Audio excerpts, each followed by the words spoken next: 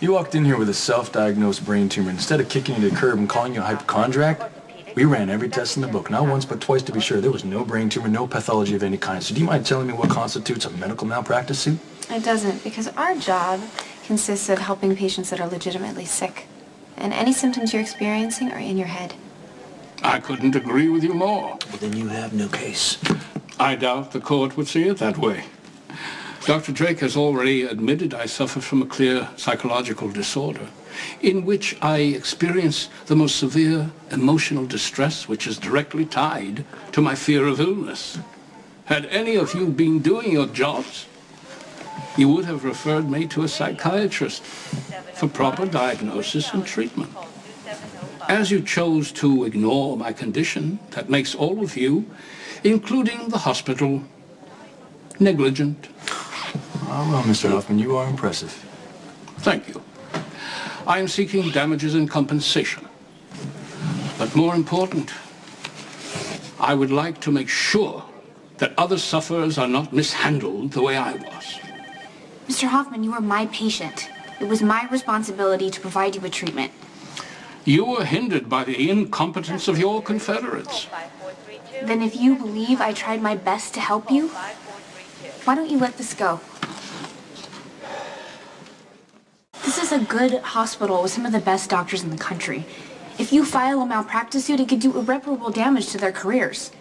I'm not quite sure how anyone in this hospital could be deemed qualified to practice medicine. Aside from you, of course. The others deemed me beneath their notice and felt that they could dismiss my needs.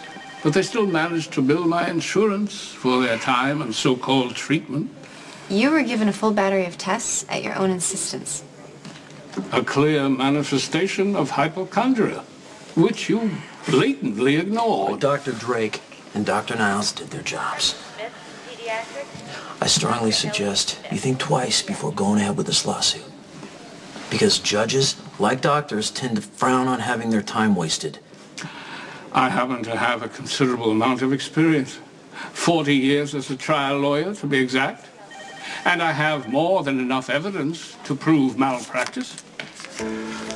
Among other things, the uh, conditions at this hospital are terribly unsanitary. Perhaps a call to the health department should be next on the list. I'll be waiting to hear from your attorneys.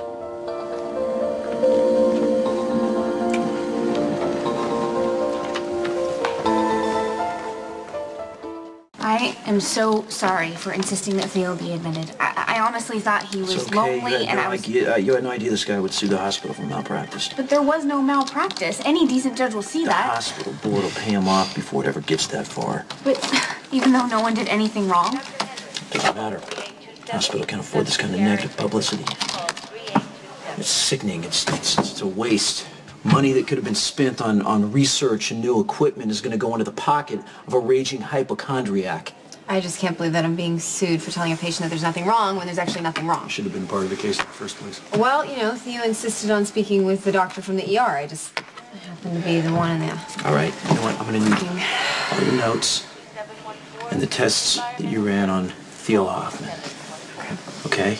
And I'm going to need you to clear your schedules for this afternoon because the three of us need to sit down and strategize.